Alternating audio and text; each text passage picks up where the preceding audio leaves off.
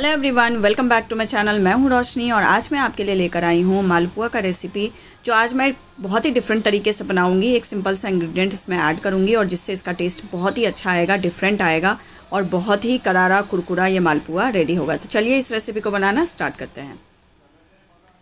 मालपुआ बनाने के लिए मैंने यहाँ पर एक बोल ले लिया है। इसमें हम ऐड करेंगे मैदा। यहाँ पर मैंने एक कप मैदा ऐड किया है।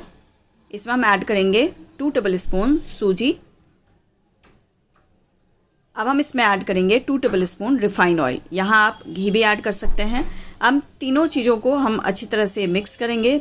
तो ये प्रॉपरली हमें मिक्स कर लेना है। इस तरीके से मैंने चेक किया है तो इसकी बाइंडिंग बहुत ही अच्छी तरीके से हो रही है। अब इस मिक्सचर में हम ऐड करेंगे टू पिंच इलायची पाउडर और हम यहाँ पर ऐड करेंगे one by four cup cream के साथ मिल्क हमने ले लिया है। मिल्क हमारा ठंडा ही है, गर्म मिल्क नहीं लेंगे। ठंडा मिल्क हमने क्रीम और milk one by four cup इसमें ऐड कर दिया है। इसे हम मिक्स करेंगे। अब हल्का हल्का पानी ऐड करते हुए इसका हम बैटर तैयार करेंगे। तो सेमी थिक बैटर तैयार करना है।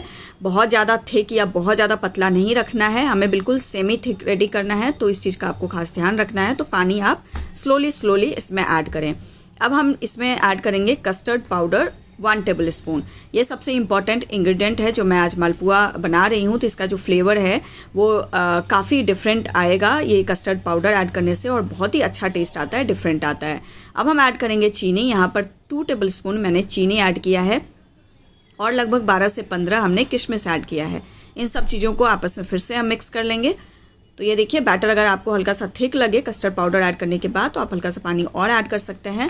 तो ये बैटर हमारा बिल्कुल तैयार है परफेक्ट टेक्सचर में। तो अब इसे हम कवर करके 10 से 15 मिनट के लिए रख देंगे। यहाँ पर हमने ऑयल ऐड किया है, एक पैन ले लिया, इसे अच्छी तरह से गर्म कर लेंगे। ऑयल को हम गर्म कर लेंगे और गर्म करने के बाद हम लो फ्लेम करके इसमें इस तरीके से तो इस तरीके से हम मालपुआ बनाएँगे। और जैसे पैन ये हमारा बड़ा है तो एक साथ मैंने यहाँ पर तीन मालपुआ फ्राई किए हैं।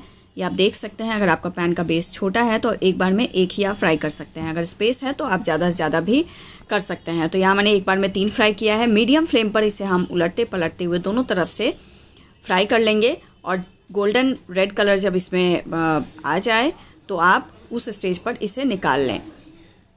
तो ये देखिए, काफ़ी क्रिस्पी और करारा मलपुआ हमारा रेडी हो गया है। तो अब इसे हम निकाल लेते हैं और फिर से हम इसमें जो बाकी के बच्चे बैटर हैं उसे भी डालकर हम मालपुआ रेडी कर लेंगे। तो ये जो इंग्रेडिएंट है कस्टर्ड पाउडर उसे आप ऐड करके ज़रूर इस तरीके से मालपुआ बनाएँ तो इस बार आपको डिफरेंट टेस्ट आएगा डिफरेंट फ्लेवर आएगा। जो आ, हर बार आप खाते होंगे उससे टोटली डिफरेंट लगेगा तो आप भी इस रेसिपी को ट्राई कीजिए। और मुझे कमेंट करके ज़रूर बताइए आपको ये कैसी लगी।